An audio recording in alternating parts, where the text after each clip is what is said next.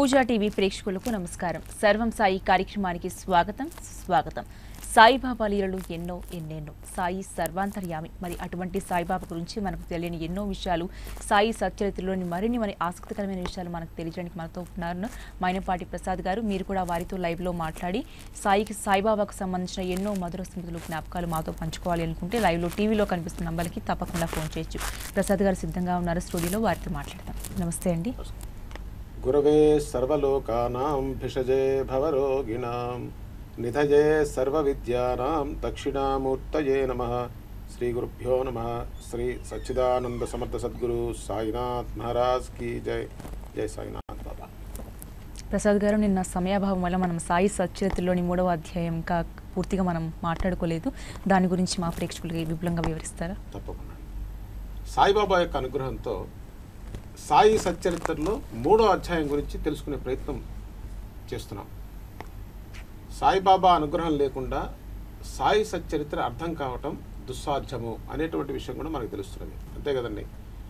కేవలం మూడో అధ్యాయంలో ఉన్నటువంటి విషయం కనుక మన మనసుకి అవగతమైతే జ్ఞాన భూమిక అంతా కూడా వికసింప వికసింపజేసి తద్వారా ఏదైతే ఆనందానికి మూలమై ఉన్నదో దాని యొక్క తత్వాన్ని మనసుకి అవగతం చేస్తారు సాయినాథ్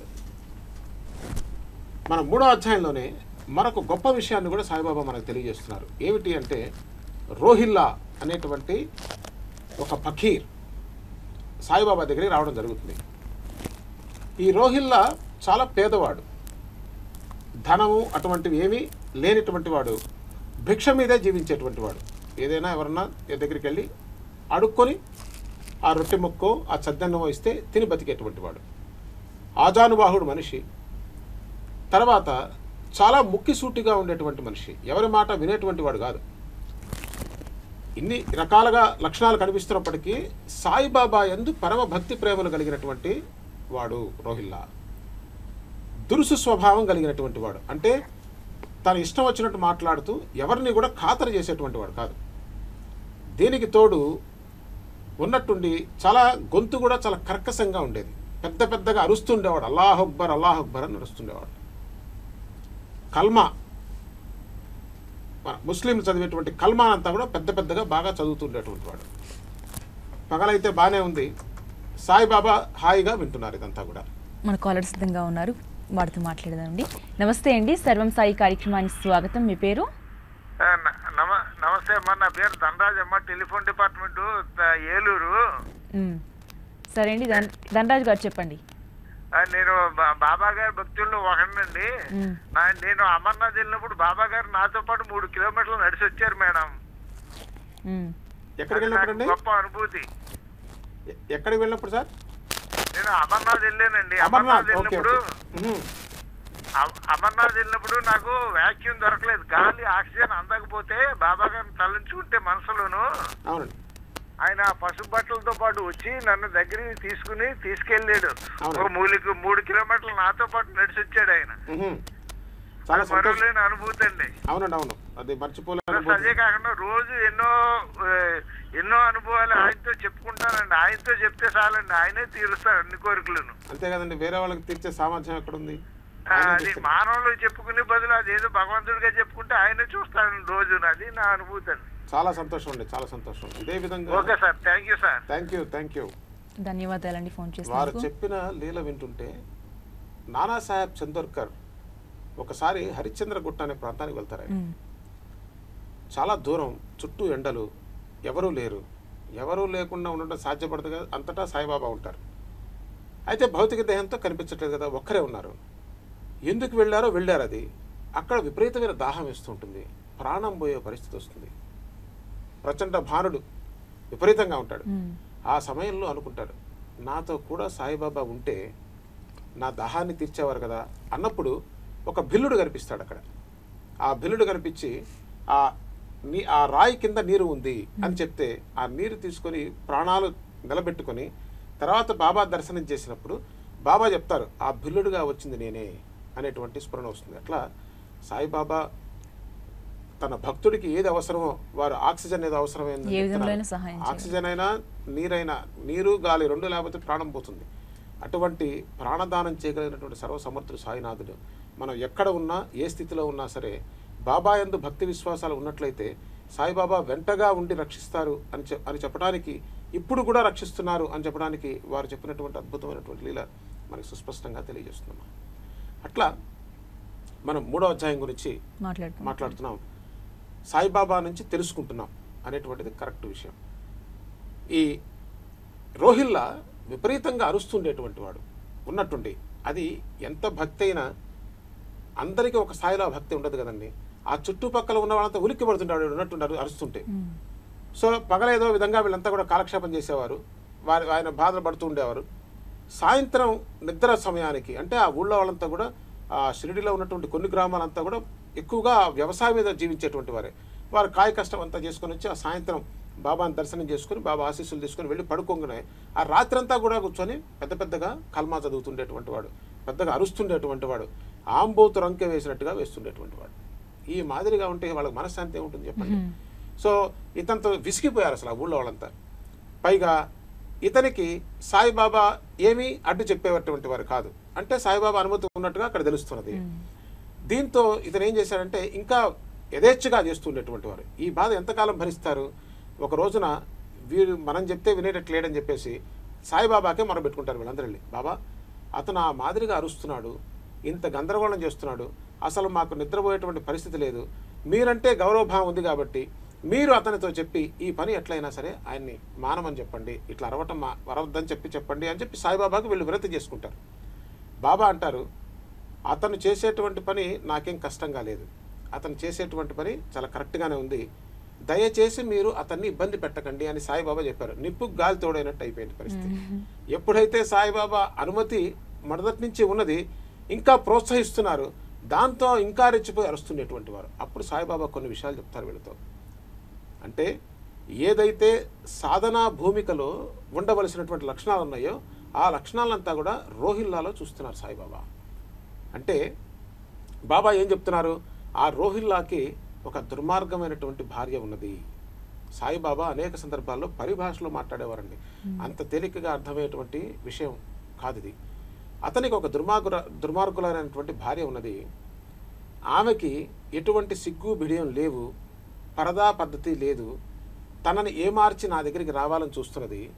మరి అతను అరవటం వల్ల ఆ దుర్బుద్ధి తనలో చొరబడకుండా ఉంటుంది. సాయిబాబా చెప్తున్నటువంటి మాటలండి. ఇవన్నీ కూడా సాయి సచరిత్రలో రాయబడినటువంటివి.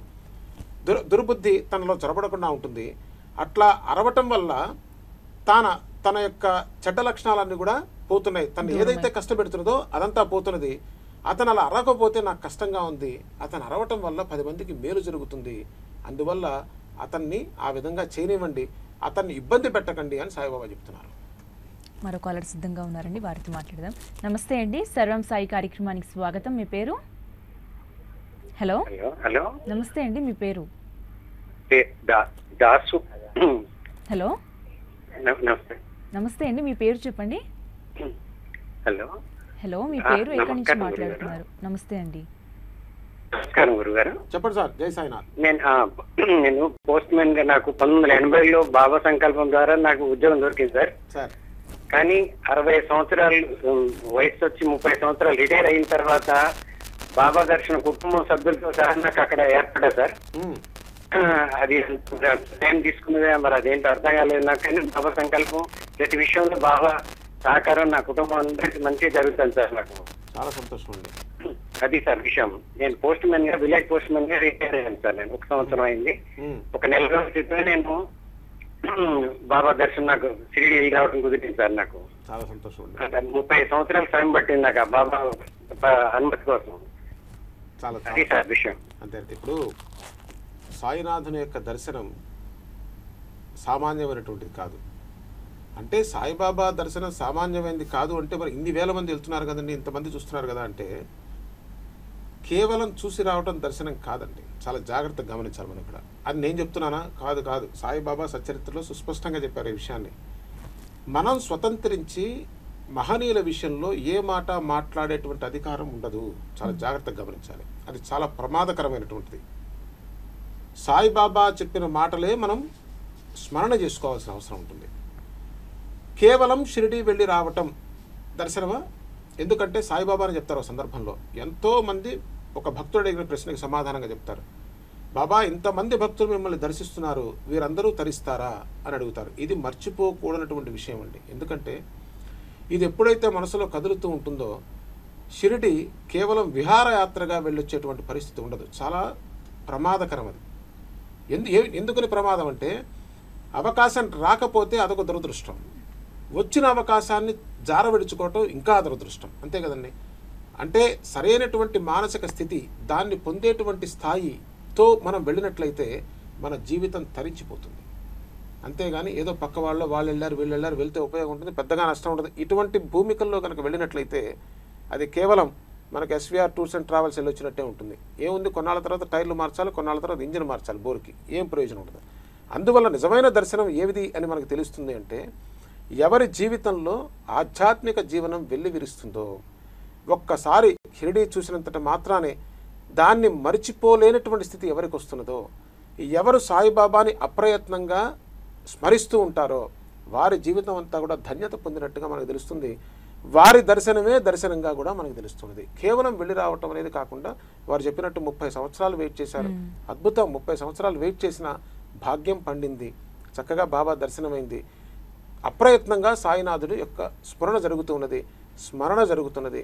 పారాయణ జరుగుతున్నది అర్చన జరుగుతున్నది అభిషేకం జరుగుతున్నది అన్ని రకాలైనటువంటి సేవలు కూడా సహజ సిద్ధంగా మనసు అనేటువంటి భూమికలో ఎప్పుడు వస్తున్నదో దాన్ని మించిన భాగ్యం మరొకటి ఏమున్నదండి?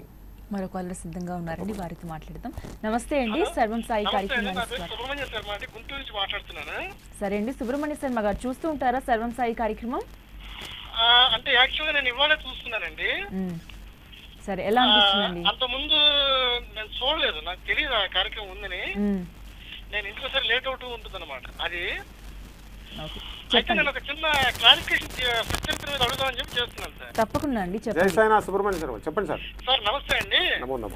సత్యరిత్రలో పదకొండవ అధ్యాయంలో మణిగారి బుక్లో ఒక ట్రాన్స్లేషన్ ఒక వాక్యం ఉంటుంది సార్. ఈ అధ్యాయం అంటే పదకొండవ అధ్యాయం ఏకాదశ రుద్రావర్తనం వంటిది అని ఒక- వాక్యం ఉంటుంది. ఏకా ఈ అధ్యాయం అంటే పదకొండవ అధ్యాయం ఏకాదశ రుద్రావర్తనం వంటిది అని ఒక అధ్యాయం ఉంటుంది సార్. సార్. అది దాంట్లో అంతరార్థం ఏంటి? అలాగే ఇంకొక అధ్యాయంలో మా గురువు గారు నన్ను తలగిందులుగా వేలాడ తీశారు అని చెప్పి ఒక ఇది ఉంటుంది సార్. సాయిబాబా చెప్తారు. దాని వెనకాల ఏమైనా అంతరార్థం ఉందా? ఈ రెండు విషయాలు నేను తెలుసుకుందాం అనుకుని మీకు చేస్తున్నాను సార్. చాలా సంతోషం అండి. సాయిబాబా యొక్క అనుగ్రహంతో బుద్ధికి ప్రచోదనం అయిన విధంగా మనం ఈ ఈ విషయాన్ని మనం చూద్దామండి. మొట్టమొదట ఏకాదశము అంటే మన సృష్టికి మూలం మనం ఏం చేస్తామంటే ఈశ్వరతత్వాన్ని చెప్తాం. ఎప్పుడు చెప్పినా సరే. ఏకాదశము అనేది రుద్ర సంఖ్య. అది పదకొండవ అధ్యాయం. దాని రుద్రంతో పోల్చడం అనేది చాలా సరి అయినటువంటి విషయం. ఒక్క విషయం మనం గమనించినట్లయితే సాయి సచ్చరిత్రలో ఉన్నటువంటి ప్రతి అధ్యాయానికి కూడా ఒక అద్భుతమైనటువంటి సందర్భం ఉన్నది. అది సాధనా మార్గాన్ని మనకు సూచిస్తుంది. దాన్ని ఆధారం చేసుకొని మనం మొదటి అధ్యాయం నుంచి కూడా సాయిబాబా బుద్ధికి ప్రచోదనం చేసిన విధంగా మనం తెలుసుకోవడం ప్రయత్నం చేస్తున్నాం. అందువల్ల పదకొండవ అధ్యాయం గురించి అది పదకొండు సంఖ్య ఉండటం వల్ల దాన్ని రుద్రా అభిషేకానికి మనం ఉపయోగించేటువంటి పదకొండు అనువాకాలు అంటే పదకొండు అనువాకాలుగా మనకు తెలియజేస్తున్నది. అది మనం పదకొండు అధ్యాయంలోకి వచ్చినప్పుడు దాని గురించి ఇంకా వివరంగా తెలుసుకోవడానికి మనం ప్రయత్నం చేద్దాం. ఎందువల్ల ఏంటి అనేది. రెండవది వచ్చేసరికి వారు అడిగింది తన గురువు తనని తలకిందులుగా వేలాడదీశారు అని చెప్తారు సాయిబాబా సందర్భంలో. ఏం చెప్తారంటే తన గురువుని కలవడం జరిగిందని ఆ గురువు తనని తీసుకుని వెళ్ళి తలకిందులుగా కాళ్ళకి తాడు కట్టి ఒక బావిలో దించారని చెప్తారు. బావిలో తలకి నీళ్ళు తగలకుండా ఇంచుమించుగా అంతవరకు వెళ్ళి అట్టా కట్టేశారని చెప్పి అట్లా కట్టేసి ఆ గురువు వెళ్ళిపోయారట. ఎక్కడికి వెళ్ళిపోయారు తెలియదు చాలా సమయం తర్వాత మళ్ళీ వచ్చారు. వచ్చిన తర్వాత సాయిబాబాని అడుగుతారు ఎట్లా ఉన్నావు? అని అడిగితే పరమ ఆనందంలో ఉన్నాను సాయిబాబా అని చెప్తారు. ఇది కథ. అందుకని ఇవన్నీ కూడా పారబుల్స్లో చెప్తారు సాయిబాబా. చాలా సాయిబాబా చెప్తే తప్ప మనకు అర్థం కాదండి. వారు అడిగింది చాలా గొప్ప విషయాన్ని అడిగారు. ఒక్క విషయం మనం గమనిద్దాం ఇక్కడ. ఎవరైనా సరే తలకిందులుగా వేలాడగడితే సుఖంగా ఉండడానికి అవకాశం ఉంటుందండి? ఏ స్థితిలో అయినా సరే. పై ప్రాణాలు పైన పోతాయి. ఎక్కువసేపు ఆ స్థితిలో ఉండలేరు. పైగా కట్టింది ఎక్కడ? ఏ చెట్టు కొమ్మనో నీడనో కాదు. బావిలో కట్టారు. అది చెట్టు కొమ్మకు కట్టారు. నీళ్ళు తల వరకు తగులుతున్నాయి. సామాన్యమైనటువంటి స్థితిలో ఉన్న ఏ వ్యక్తికి కూడా అక్కడ ఆనందాన్ని పొందటానికి అవకాశం ఉండనే ఉండదు. తర్వాత గురువు అక్కడ నిలబడి ఉన్నారా? లేరు వదిలిపెట్టి వెళ్ళిపోయారు. తర్వాత ఎప్పుడు వస్తారో కూడా తెలియదు. వచ్చిన తర్వాత అడిగితే సాయిబాబా చెప్పిన సమాధానం పరమానందంగా ఉన్నాను ఇది మనకు తెలుస్తుంది ఏమిటి దీంట్లో ఆంతర్యం అంటే ఎప్పుడైతే గురువు ఎందు పరమ నిష్ట కలిగి ఉంటుందో అప్పుడు మాత్రమే గురువు ఏ స్థితిలో ఉంచినా కూడా పరమ ఆనందమైనటువంటి స్థితి ఉండడానికి అవకాశం ఉంటుంది. అంతే కదండి? మనం గనక ఈ స్థితి నాకు ఆనందాన్ని ఇస్తుంది బాబా నాకు మీరు ఈ స్థితి ఇవ్వండి అని సాయిబాబాని అడిగే స్థితిలో ఉంటే ఆనందం ఎట్లా వస్తుంది చెప్పండి అసలు? అంటే నాకు ఏది ఆనందం వస్తుందో నాకు తెలుస్తున్నది. వాస్తవానికి మనకు తెలుస్తుందో ఏది ఆనందం ఏది దుఃఖమో తెలియదు కాక తెలియదు. సద్గురువు ఏ స్థితిలో ఉంచితే ఆ స్థితిని ఆ స్థితినే పరమ ఆనందంగా అంటే సాయిబాబా యొక్క ప్రసాదంగా మనం తీసుకోగలిగినట్లయితే అప్పుడు మాత్రమే మనము రెండు ఏమిటి సాయిబాబా ప్రతి అడిగినటువంటివి? నిష్ఠా సబూరి. మొట్టమొదటిది ఏమిటి? అచంచలమైనటువంటి విశ్వాసం. అచంచలమైన విశ్వాసం ఉండడం చేత మాత్రమే సద్గురువు ఏ స్థితిలో ఉంచినా కూడా పరమ ఆనందమైనటువంటి స్థాయిలో ఉండడానికి అవకాశం ఉంటుంది. ఎంత అద్భుతమైనటువంటి భూమికని ఆవిష్కరిస్తున్నారు ఇక్కడంటే బాహ్య ప్రపంచంతో నీకు సంబంధం లేకుండా ఏ స్థాయిలో కర్మ అంతా కూడా ధ్వంసం అయిపోయి ఆనంద సామ్రాజ్యంలో నీవు నివసించేటువంటి స్థా స్థితి వస్తుందో ఆ స్థితిలో మాత్రమే నీకు కర్మ వల్ల వచ్చినటువంటి ఫలితాలు నీకు ఎటువంటి ఎఫెక్ట్నివ్వవు అనేటువంటి సత్యాన్ని కూడా సాయిబాబా ఇక్కడ ఆవిష్కరిస్తున్నారు అంటే సద్గురువు ఏ స్థితిలో ఉంచితే అక్కడ పరమానందంగా ఉండేటువంటి స్థాయి అది దాన్ని మనకి సాయిబాబా ఆవిష్కరిస్తున్నట్టుగా సుస్పష్టంగా మనకు తెలుస్తుంది. అప్పుడు మాత్రమే అచంచలమైన విశ్వాసం ఉండడానికి అవకాశం ఉంటుంది. ఉండడం ద్వారా మాత్రమే ఆనందంగా ఉంటాం. ఒకటి. రెండు. సంతోషముతో కూడినటువంటి ఓర్పు అని చెప్తున్నారు. అసలు ఓర్పు అంటేనే ఒక బాధ కలిగితే ఓర్చుకోవడం జరుగుతుంది. అంతే కదండి? అటువంటి బాధని ఓర్చుకోవటం సంతోషంగా ఎట్లా సాధ్యపడుతుంది అంటే కేవలం ఇది నా గురువైనటువంటి నా తండ్రి అయినటువంటి సాయినాథుని నుంచి వస్తుంది అని దానిని ప్రసాదంగా ఎప్పుడైతే నేను తీసుకోవడానికి ప్రయత్నం చేస్తానో అప్పుడు మాత్రమే సంతోషముతో కూడినటువంటి ఓర్పుగా బయట వాళ్ళకు కనిపిస్తుంది. కేవలం సంతోషమే భక్తుడికి తెలుస్తూ ఉంటుంది. ఈ రెండు భూమికలు ఆవిష్కరించేటువంటి అద్భుత ఘట్టంగా సాయిబాబా ఆ కథని మనకి సాయి సచరిత్రలో ఇచ్చినట్టుగా మనందరికీ తెలుస్తుంది. బహుశా మీరు అడిగినటువంటి ప్రశ్నకి సాయినాథుడు తగినటువంటి సమాధానం ఇచ్చారని ఆశిస్తున్నాను. సాయినాథ్ మహారాజ్కి జై. ధన్యవాదాలు. మరో కాలర్ సిద్ధంగా ఉన్నారు. హలో అండి సర్వం సాయి కార్యక్రమానికి స్వాగతం. మీ పేరు? ఖమ్మం అండి మాది. నమస్తే అండి మీ పేరు? మా పేర నాగరత్నమ్మ నాగరత్న గారు చూస్తూ ఉంటారండి సర్వం సాయి కార్యక్రమం? నేనేం లేదండి బాగా పారాయణ ఫస్ట్ సారి చదివినప్పుడు నాకు అంతగా బాగా అర్థం కాల. రెండోసారి చదివినప్పుడు బాగా నాకు కొద్దిగా కొన్ని కొన్ని ఇలా పదాలు అవన్నీ ఇష్టంగా ఉన్నాయి. ప్లస్ ఆ సచ్చరిత్ర చదివేటప్పుడు ఒక్కోసారి మనకు తెలియకుండానే శరీరంలో ఏదో రోమాలు నిక్కబడుచుకున్నట్టు ఆనందంగా ఉంది ఉన్నట్టు ఉంటుంది. అయితే ఈ సచ్చరిత్ర చదవటం వల్ల మానవ జీవితంలో తప్పులు చేయడానికి ఆస్కారం ఉండదండి. ఇట్లా చేస్తే బాబా ఒప్పుకోడు. ఇది తప్పు? ఇలా చేయకూడదు. బాబాకు నచ్చినట్టు ఉండాలి. మనం అంటే ఇది ఎట్లున్నాయంటే సచ్చరిత్రలో మనం ఆచరించడానికి తగినట్టుగా ఉన్నాయి. స్వామి చెప్పినవన్నీ బాబా చెప్పినవన్నీ ఆచరించడానికి అనువుగా ఉన్నాయి. అందుకు కాబట్టి నేనేమంటున్నాను అంటే ప్రతి ఒక్కరూ ఏదైనా చేయడానికి బాబా ఇది ఒప్పుకోడు. మనము బా సాయిని పూజిస్తున్నాము. మనమే తప్పు చేస్తే మనం ఆయన నమ్మి మనం సమాజానికి తప్పు చేయకూడదు ఏదైనా. ఇంకోటి ఏమంటాడంటే బాబా ఒకసారి ఒక అధ్యాయంలో ఒకరికి డబ్బులు ఇచ్చే పడేది నువ్వు మొఖాన్ని చెప్పు. ఈ రోజురా రేపురా మళ్ళీ ఈ రోజురా అని చెప్పు కాకు. నీ కళ్ళు ఇప్పుడు ఇస్తా లేకపోతే ఈ కాకు అని చెప్పాడు. అట్లాంటి విషయంలో కూడా కొన్ని కొన్ని ఉంటే మనం ఫ్రాంక్గా చెప్తాం. తప్పేముంది మనకి అని అనిపిస్తుంది. అది బాగా గురువు దగ్గర తెలుసుకుందామని ఫోన్ చేశానండి. తప్పకుండా అండి. ధన్యవాదాలు. చాలా మంచి విషయాలు అడిగారు ఆవిడ. వారికి సాయి సచరిత్ర మొదట చదివినప్పుడు అసలు అర్థం కాలేదంట. రెండోసారి చదవడం ప్రారంభించినప్పుడు రోమాలు నిక్కబడుచుకుపోయాయి. మూడోసారి చదివినప్పుడు బాగా అర్థమైంది. అన్ని ఆచరణయోగ్యమైన విషయాలే బాబా అందులో మనకు చెప్పారు అని చెప్తున్నారు. చూడండి. ప్రశ్న సాయిబాబా అని అడిగారు. సమాధానం సాయిబాబా చెప్పారు. ఇంకేం కావాలి? దానికి తిరిగే ఉంది. చాలా అద్భుతమైన విషయమా అది నగ్న సత్యం కూడా. ఎందుకంటే మనం మొట్టమొదటి నుంచి అనుకుంటున్నట్టుగా సాయి సచ్చరిత్ర అర్థం కావాలంటే కేవలం సాయిబాబా యొక్క కృపా విశేషం చేత మాత్రమే సాధ్యము. అన్య విధములు సాధ్యపడటానికి అవకాశం లేదు. ఎందువల్లంటే అది కేవలం బ్రహ్మస్వరూపాన్ని ఆవిష్కృతం చేస్తుంది సాయి సచ్చరిత్ర. మనకున్నటువంటి దుఃఖాలంతా కూడా మొత్తం తీసివేస్తుంది.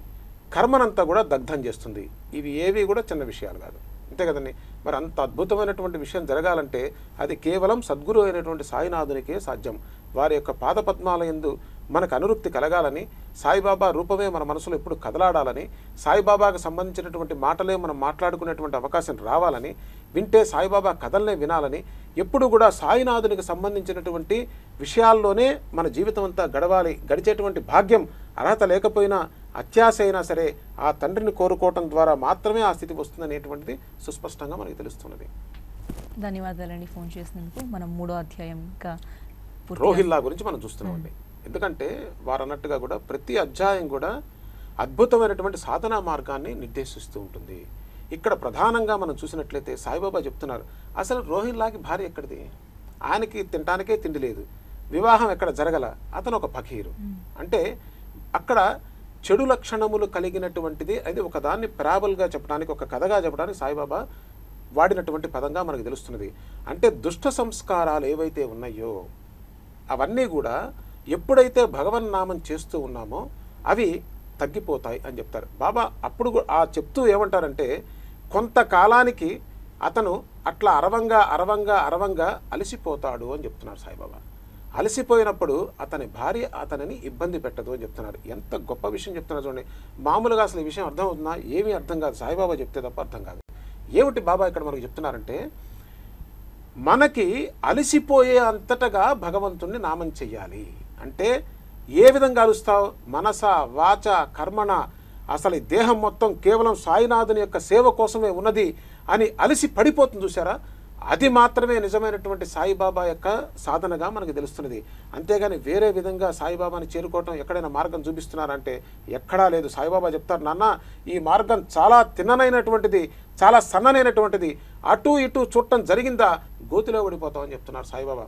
నీవు కేవలం సద్గురు యొక్క పాదాలు పట్టుకుని నీ సర్వశక్తులని వడ్డి అన్ని శక్తుల్ని కూడా సాయిబాబా సేవకు అంకితం చేస్తే అప్పుడు ఇవన్నీ కూడా అలసిపోతాయి సొలసిపోతాయి జారి పడిపోతాయి. ఎప్పుడైతే ఇవన్నీ కూడా పడిపోయినాయో అప్పుడు ఆనంద భూమిక వికసిస్తుంది ఆధ్యాత్మిక జీవితం మొదలవుతుంది. అప్పుడు సహజ సిద్ధంగా నీవు ప్రశాంతమైనటువంటి చిత్తాన్ని కలిగి ఉంటావు అనేటువంటి అద్భుతమైనటువంటి భూమికని మనకి ఈ మూడవ అధ్యాయంలో రోహిల్లా ద్వారా మనకు తెలియజేస్తున్నారు అనేటువంటి విషయం మనకి సుస్పష్టంగా తెలుస్తుంది మరో కాలర్ సిద్ధంగా ఉన్నారు. నమస్తే అండి. సర్వం సాయి కార్యక్రమానికి స్వాగతం. మీ పేరు? నా పేరు కొమ్మల కృష్ణారావు అండి. ఎక్కడి నుంచి మాట్లాడుతున్నారండి? నేను హైదరాబాద్ నుంచి మాట్లాడుతున్నానండి. సరే అండి చెప్పండి. మానింపాటి ప్రసాద్ గారు ఉన్నారు చెప్పండి. సాయినాథ్ మహారాజ్కి జై. సార్ నేను గురువును కాదు సార్ ప్రసాద్నే. చెప్పండి సార్. గురువు చాలా బరువు అండి. సర్వ- మనకి గురువు. ఆయన. సాయినాథ్ మహారాజ్కి జై. అది అట్లా ఉన్నంత కాలం క్షేమం సార్. చెప్పండి నేను పంతొమ్మిది వందల తొంభైలో ఫస్ట్ మొదటిసారిగా బాబాని తెచ్చుకున్నాను సార్. షిరిడి వెళ్ళి. అంతకు ముందు ఎందుకో నాకు అంత బాబాని దర్శించుకోవాలని కానీ మా మిస్సెస్ పంజాగుట్ట సాయిబాబు గుడికి వెళ్తుండేది. నేను ఎందుకో కొంచెం నాకు చిన్న చిన్న మనశ్శాంతి లేకపోతే ఎవరో ఆఫీస్లో ఒకసారి షిరిడి వెళ్ళొచ్చాను అంటుంటే నేను కూడా ఎందుకు వెళ్ళకూడదని నేను వెళ్ళాను సార్ పంతొమ్మిది వందల తొంభైలో. ఆ రోజును వెళ్ళాం కానీ అనుకోకుండా ఆ రోజు నేను ద్వారకామాయి దర్శనం చేసుకో చేసుకోకుండా వచ్చేసామండి పిల్లలతో వెళ్ళాను ఆ? ఉమ్. ఆ, ద్వారకామాయి దర్శనం జరగలేదు ఎందుకో మరి అది మిస్ అయిపోయింది ఆ చుట్టూ దిగగానే దాని లోపలికి వెళ్ళలేదు. అది బాధ మనసులో ఉండిపోయి మళ్ళీ ఒక మూడు నెలలకి నేను బాంబే వెళ్ళి అక్కడ నుంచి డైరెక్ట్గా నేను ఆ, ద్వారకామాయికి దర్శనం చేసుకోనండి. ఆ రోజు నుంచి ఈ రోజు వరకు బాబా అనుకున్నట్లేదు ఆయన అసలు ఆయనలో సర్వం లేవం చేసుకున్నాడు. నాకు రెండే కోరికలు కోరుకున్నానండి బాబా అని. బాబా నాకు అనుకోకుండా ఒక మిత్రుడు బాబా భక్తుడు పరిచయం అయ్యారు. ఆయన పదకొండు సార్లు హైదరాబాద్ షిరిడి పాదయాత్ర చేసేదండి. ఆయన కాలం చేశారు అనుకోకుండా ఈ మధ్య కాలంలో. అయితే ఆయన ప్రభావం వల్ల నేను బాబాని దర్శకుంచిన భాగ్యం వారం వారం తొమ్మిది వారాలు వెళ్ళిన రోజులు. తొమ్మిది రోజులు షిరిడిలో ఉండిన రోజులు జరిగినాయండి. ఆయన అనుగ్రహం వల్ల మా తూర్పు గోదావరి జిల్లా పెదపట్నం అనే గ్రామం అండి అమలాపురంకి దగ్గరలో. ఒక బాబా మందిరం నిర్మించాలని కోరుకున్నాను. అది బాబా గారి అనుగ్రహం వల్ల పూర్తయింది. ఈ- ఆ తర్వాత అస్తమానం షిరిడి వెళ్ళడం వల్ల షిరిడిలో మనకు వచ్చిన గెస్ట్ హౌస్ ఉంటే బాగుండును. మనమే కాదు మన స్నేహితులు కానీ మనలో కానీ ఎవరైనా వెళ్ళి అక్కడ నివసించి చూసి రావటం బాగుంటుంది అనిపిస్తుంది కదా. అది కూడా బాబా అనుగ్రహించేదండి. ఈ మధ్య ఎక్కువగా మా టెంపుల్ దగ్గర మొన్న ఒక డెబ్బై ఐదు మంది అంత ముందు ముప్పై మంది అక్కడ ముందు డెబ్బై మంది ఇలా వెళుతూనే ఉన్నారు అక్కడ. బాబా నేను కోరుకున్నది ప్రతిదీ ఇచ్చేదండి. అంటే నేను నా స్వార్థానికి ఏమీ కోరుకోలేదండి. ఆయన ఒకటే అడిగాను బాబా నీ నీ మందిరాన్ని నా గ్రామంలో నిర్మించాలి. ఆ? ఉమ్. అది ఆయన అనుగ్రహం వల్ల నా సొంత ఖర్చుతోటి నేను స్వయంగా ఒక హాఫ్ ఏకర్ ల్యాండ్లో ఉమ్, బాబా మందిరం ప్లస్ ఒక ద్వారకామయ్య అండి షిరిడిలో యాజిటీ ద్వారకామయ్యలో ఉంది అలాగా. అలాగే దత్త మందిరం గురుస్థానం నందాదీపం ఏర్పాటు చేసి అక్కడ భక్తులందరికీ అంకితం చేశాను. వచ్చే నెల పదిహేడు పద్దెనిమిది పంతొమ్మిది తారీఖుల్లో ఆ, రెండవ వార్షికోత్సవం కూడా జరుపుకుంటున్నాం. మీతో పంచుకోవాలని నాకు సంతోషం వేసి ఇప్పుడు ఫోన్ చేశాను గురువు గారు చాలా సంతోషం సార్ చాలా సంతోషం. మీ జన్మ ధన్యం. ఎందుకంటే సాయిబాబా సేవ చేయాలని కోరుకోవటం దానికి సాయిబాబా పర్మిషన్ రావటం చక్కగా సాయిబాబా దేవాలయం నిర్మించటం అందున మీ సొంత ఖర్చుతో అంటే వాచా చెప్పకుండా కర్మణ సాయిబాబా ఇందు ఉన్నటువంటి ప్రేమని వ్యక్తీకరించుకోవడం. జరిగించడం అనేది చాలా అదృష్టమైన విషయం అండి. అందున మీరు చాలా దయతో వచ్చి మీరు ఈ- ఈ విషయాన్ని మాతో పంచుకోవడం మాకు చాలా సంతోషంగా ఉంది. సహజంగా సాయి భక్తులు ఆలోచించిన విధంగా వారు ఆలోచించారు. ఏ ఎవరికైనా సరే షిర్దిలో ఒక ప్రదేశం ఉంటే బాగుండు అక్కడ వెళ్ళి ఉండాలి అని అట్లా మీరు కోరిన తడవుగా సాయిబాబా ఇవ్వడం జరిగింది మీరు అక్కడ వెళ్ళి ఉండడం జరిగింది. చాలా చాలా ఆనందంగా ఉంది వింటుంటే. జై సాయినాథ్. జై సాయి ధన్యవాదాలండి ఫోన్ చేసినందుకు. మనం ఎన్నో ఒక మంచి విషయాలు వింటున్నాం ఈరోజు మన కార్యక్రమంలో అసలు. ఇక మూడో అధ్యాయం మిగతా విషయాల గురించి మా చెప్తారా? తప్పకుండా. ఎందుకంటే ఇక్కడ చూడండి ఎంత గొప్ప జ్ఞాన భూమిక వికసిస్తున్నదంటే బాబా చెప్తున్నారు మనకి నాన్న నీవు శరీరం అలసిపోయే అంతగా సద్గురువు యొక్క సేవ చేయవలసినటువంటి అవసరం ఉన్నది. సేవ అంటే ఏం చేస్తాను చెప్పండి? బాబా చెప్పినటువంటి మార్గంలో నడవటం. ధర్మం తప్పకుండా జీవించాలి. మనకి వచ్చేటువంటి అధ్యాయం నాలుగో అధ్యాయంలో చెప్తారు. ఎంత అద్భుతంగా చెప్తారంటే మనం ఎంత పుణ్య కార్యక్రమం చేస్తున్నప్పటికీ కూడా ధర్మాన్ని వీడకుండా ఉండాలి. అంటే ఎందుకు ఈ విషయం చెప్పాల్సి వచ్చింది? మనం దేవాలయానికి పోతుంటాం బాబా సేవ చేస్తూ ఉంటాం. అంటే అన్నదానం కార్యక్రమంలో పాల్గొనడానికి మన బాబా సేవ అనుకుంటే అది చేస్తూ ఉంటాం. గురువారం గురువారం పల్లకి ఉత్సవాన్ని చేస్తూ ఉంటాం. అది అయిన తర్వాత వచ్చిన జీవితం ఉన్న చూసారా అది నిజమైనటువంటి సేవా కార్యక్రమం చేయాల్సిన జీవితం. మన సహజ సిద్ధంగా మన జీవితంలో మన జీవన విధానం ఎట్లా ఉన్నది అనేదే నిజమైనటువంటి సాయిబాబా సేవగా సాధనగా మనకు తెలుస్తున్నది. ధర్మం తప్పిన తర్వాత చాలా ఇబ్బందికరమైనటువంటి పరిస్థితులు ఎదుర్కోవాల్సినటువంటి అవసరం ఉంటుంది. అందువల్ల మన భక్తి పండాలి అంటే ధర్మాన్ని ఆధారంగా చేసుకునే ఉండాలి. మన శరీరము మనస్సు ధనము అంతా కూడా సాయిబాబా కోసమే మనం వెచ్చించినట్లయితే వారి జీవితం అంటే అలసిపోయే విధంగా చెప్పని చెప్తున్నారు సాయిబాబా. ధనాన్ని కోరట్లేదు. వేరు వేరు ఏం కోరట్లేదు. మనకి నిజమైనటువంటి ధనం ఏమైనా ఉందనేది అంటే అది మన శరీరం వాక్కు మనం మాట్లాడేటువంటిది మనం వినేటువంటిది. ఇప్పుడంతా మనం చెప్పుకున్నది అది అలసిపోయేటట్టు చేసినట్లయితే ఇహ నిన్ను అతన్ని బాధించదు. అతను ఈ విధంగా అరవడు. అది నాకు చాలా ఆనందాన్ని కలిగిస్తున్నది. అప్పుడు నేను కూడా ఆనందంగా ఉంటాను అని చెప్తున్నారు సాయిబాబా. అంటే భక్తుడి ఆనందమే సాయిబాబా ఆనందంగా మనకు తెలుస్తున్నది ఇక్కడ. అంతే కదండి? అంటే భక్తుడు ఈ సాధన చేయడం ద్వారా ఆనంద పదంలో ఉంటారు. కేవలం తనని ఆశ్రయించిన వాళ్ళ యొక్క ఆనందమే సాయిబాబా ఆనందంగా మనకు సుస్పష్టంగా తెలుస్తుంది మూడవ అధ్యాయంలో అద్భుతమైనటువంటి విషయాలంతా కూడా సాయిబాబా చెప్పడం జరిగింది. చివరిగా ఏం చెప్తారంటే బాబా ఒక్క విషయాన్ని ఒకరోజు చెప్తారు బాబా.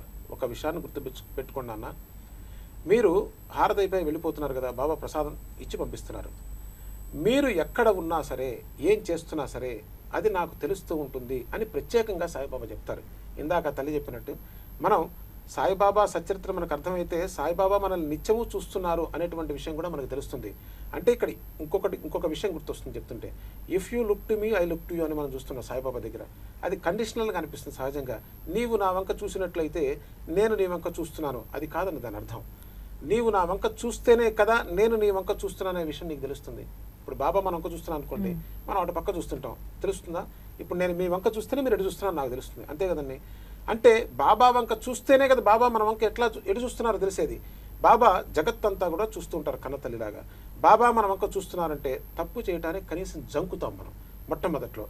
తర్వాత తర్వాత చిచి ఈ కార్యక్రమాలు వద్దు. ఎందుకని? సాయిబాబా కృప రావాలంటే ఇవి అడ్డంగా నిలబడుతున్నాయి. అని సహజ సిద్ధంగా అవి మన నుంచి వెళ్ళిపోయడానికి అవకాశం ఉంటుంది. అట్లా బాబా ఎందు భక్తి పండి మన జీవితం అంతా కూడా ఆనందమయంగా ఉండడానికి ఏకైక మార్గం సద్గురు సాయినాథుని పాదాలుగా మనకు సుస్పష్టంగా తెలుస్తున్నది.